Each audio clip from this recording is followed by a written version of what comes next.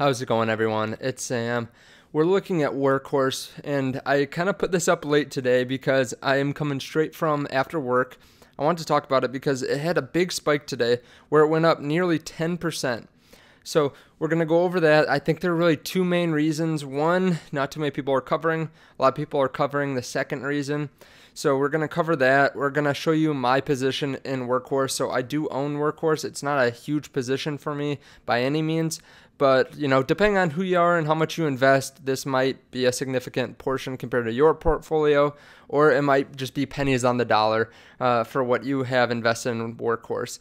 So we're gonna get into it, but before we do, if you don't mind hitting the like button and also hitting the subscribe button, if you haven't subscribed, I think about 75% of the people that watch my videos haven't subscribed yet. It's my birthday coming up in 10 days and I'm hoping to hit 5,000 subs. I do videos every day on all different topics from long term investing to just what's happening with the stock, like in this scenario, to all different types of stuff. But uh, we have some exciting videos that I'm really excited about shooting soon. And, you know, join the family. I would really appreciate that. Also, if you want to join our Patreon, you can join that and get in our Discord. I talk to the people pretty much every day or every other day that are in there answer questions and it's it's tiered so you can have different options for what you want to sign up for. But then if you had asked me today i would have been able to tell you why workhorse was up and then you would be able to get more real-time uh, news than maybe what you got if you didn't know where to look for this. So workhorse is up 7.37% today and it's down a little bit after hours but it was up about 11% at one point I have a market value of just under $200. I have a cost basis of 192.88. I'm up, you know, three and a half percent. I invest in this because I feel like there's a really good long term potential with the USPS contract. And actually, I did a video just recently where the CFO talked about some different questions that investors have. So one of uh, my fellow YouTubers was able to interview him, and they went over common questions. And the other person that was interviewing him is actually a shareholder himself, so he was really able to provide a good, a really good view and a really good uh, set of questions to the CFO.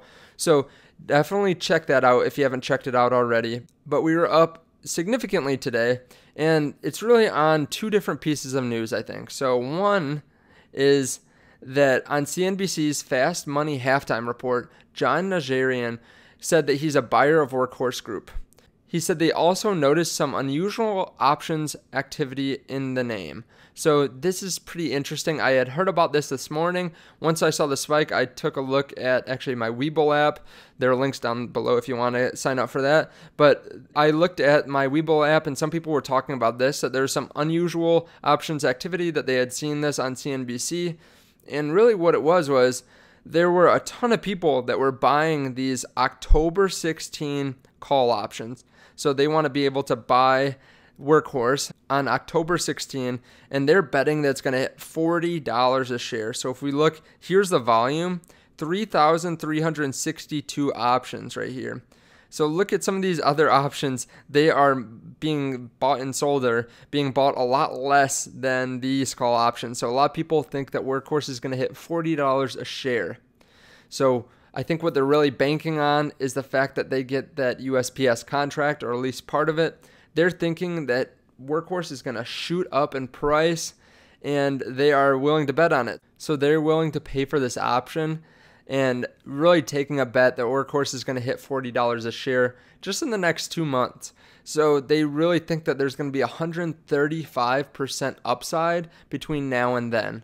Now that sent the stock price going up and you know, as someone that's a shareholder, I like to see this. I like to see a lot of other people thinking that the share price is going to go up dramatically.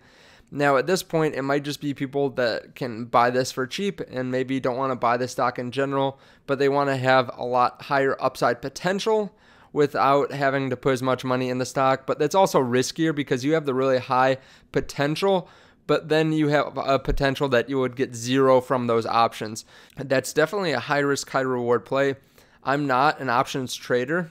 So this is not something that I've ever done. I've never bought or sold options, uh, puts or calls. So if you're going to ask me about something like whether I would do this, I I wouldn't do that. The reason I don't invest in options it's just because I feel like it's a really high risk play And personally, I'm investing for the long term, so I'm okay without getting these massive amounts that you would get from an option because a lot of the time you end up with zero dollars from them. You end up losing money from these options. So let me know your thoughts below. I appreciate it. This is a very short video. I'm not even going to hit eight minutes for this monetization. So if you guys don't mind going down to that Patreon and possibly signing up for that, that'd be awesome. And also, if you have any questions, leave them in the comments. If you don't mind hitting that like button, that also helps too. I appreciate it, and I will see you tomorrow in the next video. Bye.